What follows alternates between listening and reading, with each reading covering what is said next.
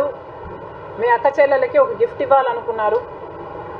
మీరు ఇవ్వాలనుకుంటే ఆ గిఫ్ట్ ఇస్తారు. మీరు ఇవ్వద్దు అనుకుంటే ఆ గిఫ్ట్ ఇవ్వరు. అది మీదైనప్పుడు మీరు నేను గిఫ్ట్ ఇస్తాను అని ఎంఓయూ రాసిస్తారా? మీరు ఎంఓయూ రాశారు అంటేనే దానికి అర్థం ఏమిటి మీకు ఇవ్వాల్సిన ఆబ్లిగేషన్ ఉంది కాబట్టి ఎంఓయూ రాశారు. మీకు ఇవ్వాల్సిన బాధ్యత ఉంది అని మీకు తెలుసు కాబట్టి మీరు ఎంఓయూ ఇచ్చారు. సుబ్బారెడ్డి గారు సమాధానం చెప్పాలి. ఎవరు ఒక గిఫ్ట్గా ఇవ్వాలనుకుంటే ఆయన ఆస్తి ఆయనది ఆయన గిఫ్ట్గా ఇవ్వాలనుకున్నాడు కాబట్టి ఎంఓయూ ఇచ్చాడట అంటున్నారు. అది కూడా తన చేతుల్లో లేని ఆస్తుల గురించి ఆయన ఎంఓయూ ఇచ్చాడట. ఎవరు అలా ఇయ్యరండి? ఎంఓయూ ఇచ్చారు అంటేనే వాళ్ళు ఆబ్లిగేట్ అయ్యారు కాబట్టే ఎంఓయూల మీద సంతకాలు పెట్టడం జరిగింది. ఎంఓయూలో ఉన్నది వాళ్ళు ఎగ్జిక్యూట్ చేయాలి అన్న వాళ్ళ బాధ్యత వాళ్ళకు తెలుసు కాబట్టే ఆ రోజు ఎంఓయూ రాయడం జరిగింది సంతకం పెట్టడం జరిగింది. అలాగే ఎంఓయూలో ఉన్న క్లాస్ నెంబర్ ఫోర్ పాయింట్ టూలో చాలా స్పష్టంగా సరస్వతి సిమెంట్స్ అటాచ్ కాలేదు సరస్వతి షేర్స్ అటాచ్ కాలేదు కాబట్టి సరస్వతి షేర్స్ని వెంటనే ట్రాన్స్ఫర్ చేస్తాము. ట్రాన్స్ఫర్ అనే పదాన్ని నేను అండర్లైన్ చేస్తున్నాను ఇక్కడ. సరస్వతి షేర్స్ని వెంటనే ట్రాన్స్ఫర్ చేస్తాము. సైన్ చేస్తున్న ఈ ఎంఓయు ఇంప్లిమెంట్ అయిన వెంటనే అంటే సైన్ చేస్తున్న ఈ ఎంఓయు రిజిస్ట్రేషన్ అయిన వెంటనే పులివెందలో రిజిస్టర్ అయింది ఎంఓయు రిజిస్ట్రేషన్ అయిన వెంటనే ట్రాన్స్ఫర్ చేస్తాము. ట్రాన్స్ఫర్ అనే పదం అండర్లైన్ చేస్తున్నా నేను.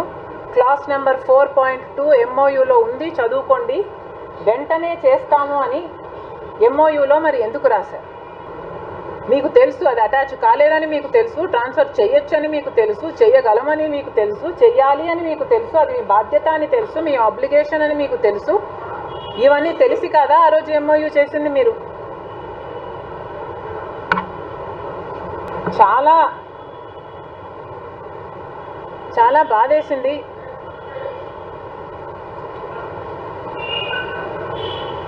జగన్మోహన్ రెడ్డి గారు చాలా సునాయసంగా చాలా సులభంగా అన్ని ఇళ్ళలో ఉండే విషయమే ఇది. గర్గర్కి కహాని అన్నారు. ఏదండి గర్గర్కి కహాని? కన్న తల్లిని కోర్టుకు ఈడ్చడం గర్గర్కి కహానియా? ఇది ప్రతి ఇంట్లో జరిగే విషయమా? ఇక్కడ కన్న తల్లి మీద కేసు పెట్టిన దౌర్భాగ్యుడు ఇంకెవరైనా ఉన్నారా ఈ కే- ఈ రూమ్లో? ప్లీజ్ ఒకసారి ఎన్లైటన్ మీ ఏమన్నా ఎవరైనా ఉన్నారా? ఇది గర్గర్కి కహాని అన్నారు.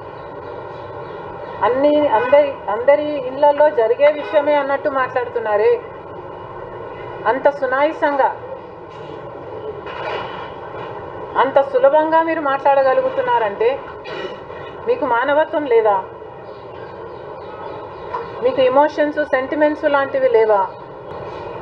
ఒక ఎస్ సజ్జల గారు మాట్లాడితేనో లేకపోతే ఇంకొక ఎవరు పేరునియో ఎవరో మాట్లాడితేనో లేక ఆఖరికి సాక్షి రాసిన నేను పెద్దగా పట్టించుకోను. కానీ నిన్న సుబ్బారెడ్డి చిన్నాన మాట్లాడాడు అంటే నాకు తెలియకుండానే కళ్ళల్లో నీళ్ళు తిరిగాయి. ఎందుకు చిన్నానా అని అనుకున్నా. నా బిడ్డలు మీ ముందు పెరగలేదా? నా బిడ్డలు మిమ్మల్ని తాత అని పలకరించలేదా? ఎందుకు నా బిడ్డలకు అన్యాయం చేయాలనుకున్నారు? ఏది నిజమో ఏది నిజం కాదో మీకు తెలియదా?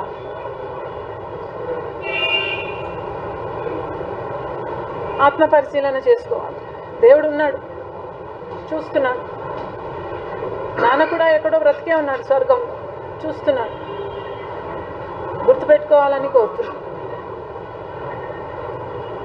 సందర్భం వచ్చింది కాబట్టి మళ్ళీ మళ్ళీ ఈ అంశం మాట్లాడటం నాకు ఇష్టం లేదు కాబట్టి వైసీపీ కాడర్ కూడా నేను మాట చెప్పాలనుకుంటున్నాను.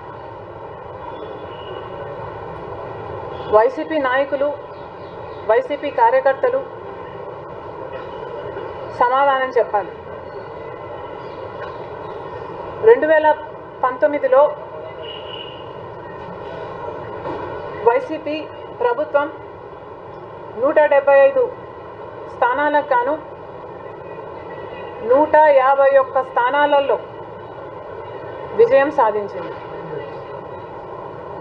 ఇది అఖండ విజయం. ఇది ఎలా సాధ్యమైంది? ఇది ఎలా సాధ్యమైంది? ఎంతోమంది ఎంతోమంది రాజశేఖర రెడ్డి గారి అభిమానులు రాజశేఖర రెడ్డి గారి పేరు మీద పెట్టిన పార్టీ కాబట్టి రాజశేఖర రెడ్డి గారి ఆశయాలను నిలబెట్టాలి అని నిలబడతాయి అన్న నమ్మకంతో ఎంతో కష్టపడితే ఎన్నో త్యాగాలు చేస్తే ఈ విజయం సాధ్యమైంది. నేను ఒక్కదాన్నే నేను అమ్మ మాత్రమే త్యాగం చేశామని నేను చెప్పటం లేదు. ఎంతోమంది త్యాగాలు చేశారు. కానీ అమ్మ నేను కూడా మా చేతన చే చేతనైన దానికంటే ఎక్కువ చేశాను. అమ్మకైతే మోకాల నొప్పులు ఉన్నాయి పాదాలలో నొప్పులు ఉన్నాయి అప్పుడప్పుడు క్యాంపెయినింగ్లో రాత్రులు ఏడ్చేది ఆ నొప్పులకి భరించలేక లేజరో లేకపోతే ఐసో లేకపోతే మందులో ఏదో ఒక రీతిగా మేనేజ్ చేసుకుంటూ వచ్చింది. అంత కష్టపడింది అమ్మ. నేను కూడా మూడు వేల రెండు వందల కిలోమీటర్లు పాదయాత్ర చేశాను పాదయాత్రకు వెళ్ళు అంటేనే వెళ్ళిపోయా. పాదయాత్రకే కాదు. సూర్యుని వరకు వెళ్ళు అని అన్నా నా ప్రాణాలు పోతాయని తెలుసునా మీరు వెళ్ళు అన్నారు కాబట్టి నేను వెళ్ళిపోయేదాన్ని. జగనన్న అంటే నాకు అంత ప్రాణం.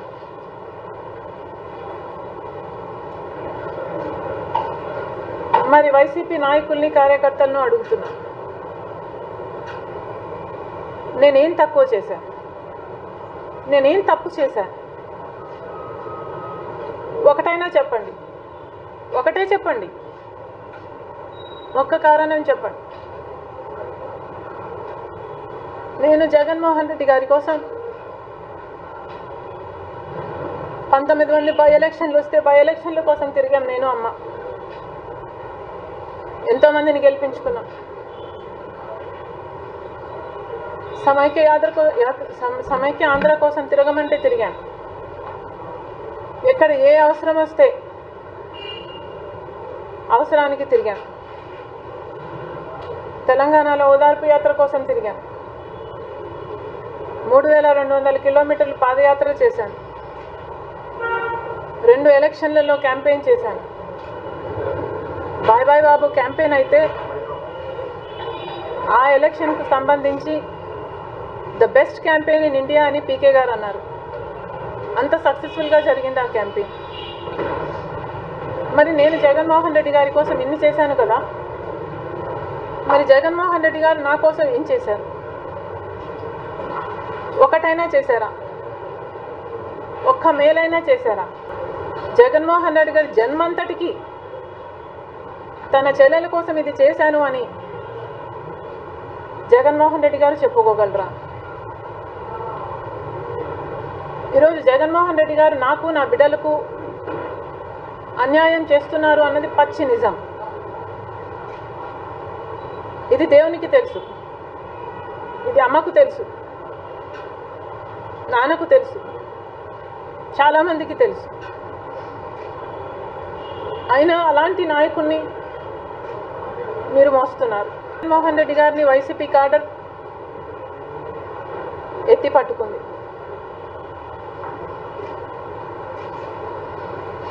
ఒక ప్రశ్నకు సమాధానం చెప్పండి. ఐదు సంవత్సరాలు ఎంఓయు నా చేతిలో ఉంది. ఎంఓయులో ఈ ఆస్తులు నాయి అని వాళ్ళు సంతకాలు పెట్టారు. ఆ హక్కు పత్రాలు ఐదు సంవత్సరాలు నా చేతుల్లో ఉన్నాయి. ఐదు సంవత్సరాలు నాకు ఎన్ని అవసరాలున్నా ఎన్ని ఇబ్బందులున్నా ఎంత కష్టం వచ్చినా ఆ ఎంఓయూలు నేను బయట పెట్టలేదు వాడుకోలేదు. ఎందుకంటే ఎంఓయూ బయటికి పోతే రాజశేఖర రెడ్డి గారి కుటుంబం గురించి నలుగురు నాలుగు రకాలుగా మాట్లాడతారు కాబట్టి. ఎంఓయూ నా చేతిలో ఉన్నా ఒక్క మీడియా హౌస్కు పోలేదు. కోర్టు మెట్లు ఎక్కలేదు ఎంఓయూ అలాంటి ఎంఓయూ